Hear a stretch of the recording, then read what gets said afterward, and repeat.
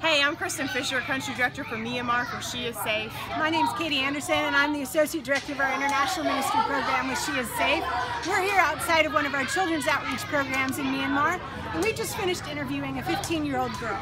She lives with her family of eight in a small one-bedroom house and it's just her mom and seven siblings because her father has left the picture.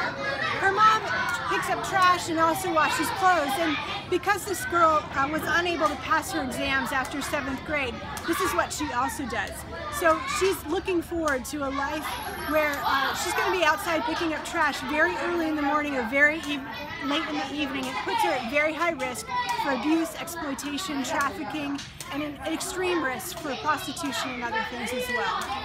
However, through this program, she's able to come each week and hear Bible stories, sing songs, play games, work on her English, and give her an opportunity to have a brighter future. She shared with us that she wants to learn to sew and be able to do that for a living.